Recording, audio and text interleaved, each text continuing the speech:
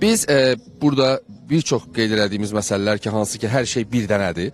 Yəni şirkətlər yalnız bir ola bilər, e, sahibkar bir sahibkar bir fəaliyyət göstərə bilər.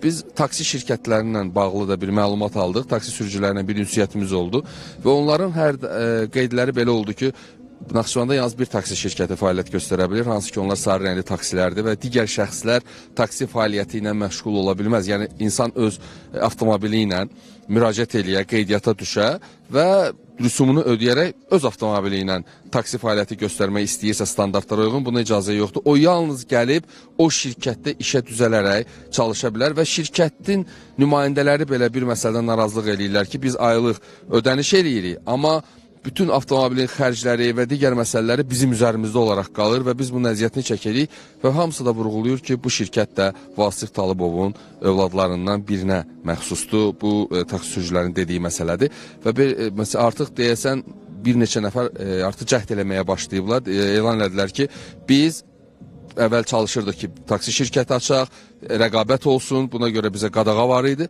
amma artıq biz bu addımları atacağıq.